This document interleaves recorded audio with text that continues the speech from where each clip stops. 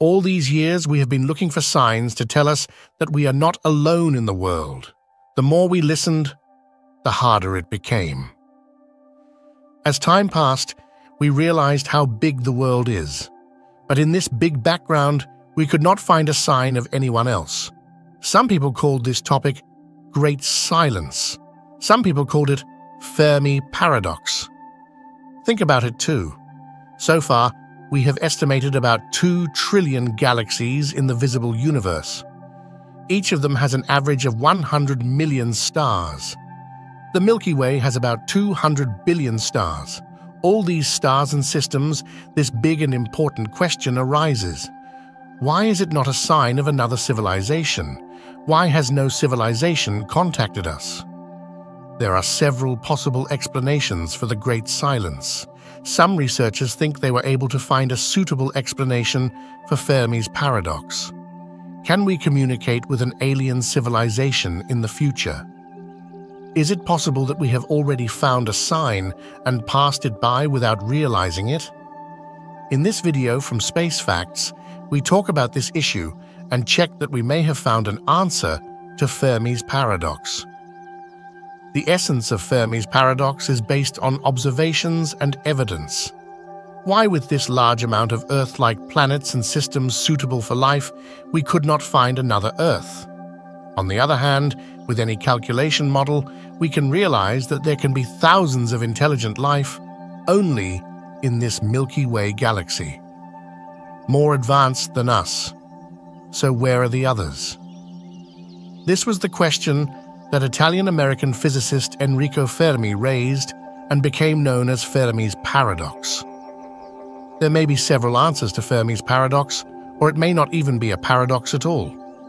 Many books have been written that offer different solutions to Fermi's paradox. Some of them seem reasonable, but some of them are very scary. One logical argument is that there may be civilizations, but they are too far away to communicate. Think of it this way we can eventually transmit radio waves at the speed of light.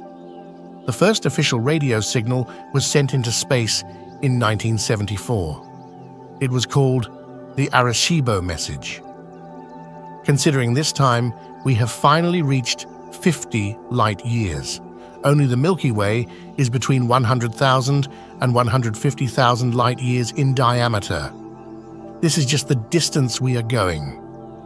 If a civilization is supposed to receive our message 50 light years away and then send us another message, it will take another 50 light years to reach us. Of course, Arecibo was not the first radio message. The first message was official. That is, it was a message in which, for example, the symbol of the Earth and our system and location were clear. Before that, radio messages such as recorded voice and music were sent into space, but they were not very reliable. If someone received them, they would not receive any specific information from it. Several years ago, a study was conducted that examined different models of the distribution of stars in the Milky Way. This study was to determine how abundant life is in the Milky Way, and they concluded that about 1% of the galaxy may have life. In this way, if we send them a message, they can receive it. But another disappointing result was obtained. That if we can send the waves, these civilizations are so far away that we have to wait about 1500 years for the answer to the message. In another study, they came to the conclusion that 1500 years is too optimistic because we may be the first and the last civilization to reach this technology and we may need to wait for more than 400,000 years to get answers from other civilizations. Now, how is it possible? Didn't we say that the diameter of the Milky Way is between 100 and 150,000 light years? So a round trip is less than 400,000 years. What does this 400,000 years mean? The reason is that maybe other planets are not as advanced as we are. We need time for them to understand our message, may at all, when we are sending them messages, their life is not complicated. It will take 10,000 years for them to reach the point where they can understand our message. In the most pessimistic case, it can be said that we cannot receive messages from other beings at all. Because the Sun will disappear in 4.5 billion years, it will also destroy the Earth. It may be that time when other civilizations send us a message, and at that time, we no longer exist. Unless we find a new land and leave here, let's send a message from that new Earth or new planet. So we understand that there will be no Earth in 5 billion years. On the other hand, the Earth itself was formed about 4.5 billion years ago, and human civilization has reached such a progress during these last 60 years that it can receive a message from other beings in the world. Somewhere in this world, whole planets like Earth have just formed, but beings like humans did not appear on those planets yet, and it will take another 4.5 billion years to become like us now.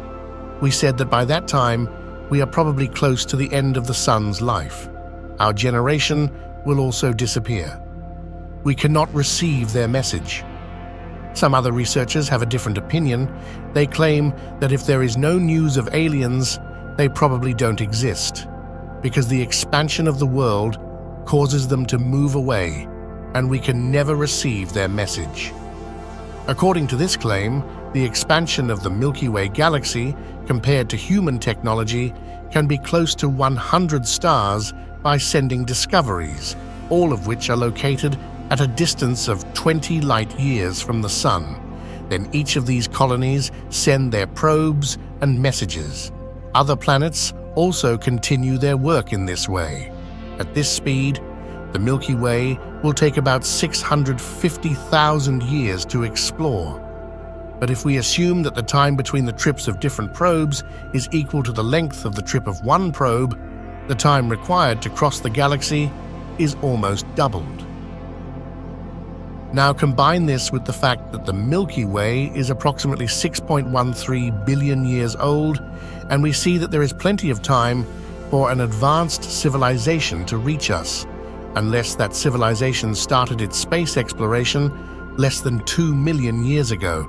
Here we can understand that an expanding civilization can spread rapidly in the galaxy, and this applies to the advanced civilizations that inhabit our galaxy. The lack of extraterrestrial galactic civilization probably means that either interstellar travel is too difficult for civilizations to develop, or the evolution of life into human form is very rare. Some researchers suggest that other civilizations may have become extinct before their system became a dwarf star before they could become advanced. Have became. However, other researchers have estimated with a general calculation about dwarf stars, again between 30 and 70% of civilizations could be left around a dwarf star.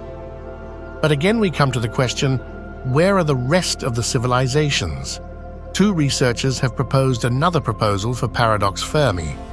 They investigated how a civilization can appear and disappear. Basically, they investigated the rise and fall of a civilization. They came to the conclusion that there are two modes. The first scenario is that a civilization realizes that it is too advanced and stops colonizing other planets. The second scenario is this a civilization does not understand how big it has grown, they grow exponentially, and elsewhere they colonize. They reach a point of no return and fall. For example, they may be so greedy that they capture a planet close to a star and at the same time find themselves trapped by the star's energy and perish. In these two scenarios, one civilization itself causes the others not to appear. In another hypothesis, it is suggested that other civilizations look for the closest interstellar or intergalactic distance to send their message to the world. That's why there was no news about them until now. In order to better understand this hypothesis, it can be explained like this the distance between Earth and Mars is different due to the shape of their orbits throughout the year. If we want to travel to Mars, we wait until Mars reaches its closest distance to us. Then we fly towards it. This hypothesis says that other civilizations are probably waiting for a galaxy to reach its closest distance to them before sending their message. The next and more logical hypothesis is that some advanced civilizations migrate to other planets just because of their own survival. Now, there can be any other reason. For example, their planet has become uninhabitable. Anyway, since they know that if they send a message somewhere, more advanced civilizations may receive that message and hunt them down, so they stay silent so as not to be seen. This hypothesis is called dark forest. Maybe it's because we couldn't find any trace of them. The dark forest says that if you are in a forest on a night that is full of darkness and nothing can be seen, you try to put your feet on the ground quietly so that the sound of leaves and rustling does not rise. Because if this sound reaches the ears of the hunter, they will find you quickly. Advanced civilizations are also worried about being hunted because they are advanced themselves. They guess that there are more advanced civilizations, so someone might see them and loot all their resources and massacre themselves. With all the things we have discussed, there is still another idea that can be the reason for the silence of the world. We see that artificial intelligence is starting to grow, and now we have this scary idea that if we don't control artificial intelligence, eventually, artificial intelligence itself. It sees us as a threat and destroys us. Even worse, it makes us its slaves. Then the artificial intelligence seeks to grow. It tries to colonize the galaxy because he knows that the Earth will not exist forever. It will be destroyed in a few billion years. Artificial intelligence can solve the problem of interstellar travel. It has no problem with surviving in space. Human biological problems are not in its way. It can even, on exploring the world, he can do other more dangerous things. For example, he destroys the life of other planets, or he sees that life is forming on a planet and disrupts that life. A model of artificial intelligence will travel to the world, and if it is suitable there, it will reproduce itself. In this way, the world will be filled with artificial intelligences that intend to kill. The motivation of artificial intelligence to acquire all the resources of the world is a motivation that cannot be resisted. However, artificial intelligence may see itself in the stage of destruction and will not last. The last hypothesis is the rare Earth hypothesis. This hypothesis states that life on Earth is very rare and special. That's why we can't find anywhere else a place similar to the Earth and civilization like humans. A planet must, it should have a very special position, and like the Earth, the conditions of its distance from the star system should be suitable. The planet itself should have a suitable species, its climate should be suitable, it should have an ocean, and there are many different conditions that if the slightest change in any of these if conditions arise, a life becomes extinct. So maybe in this whole world, the Earth, it is rare that we could not develop an advanced civilization, find someone else, and they will send us a message. However, there are different ideas for Fermi's paradox. But if we look logically, we understand that we have not yet reached the point where we want to explore the world and find other civilizations. We are still so small that we have not completed the entire system. How can we look at the Milky Way galaxy and visit millions of galaxies from here and say that there is no civilization? We have not yet left the system. What do you think about the existence of other civilizations why have we not been able to find any news from outside? Why hasn't anyone sent us a message? Write to us. Best wishes. See you later.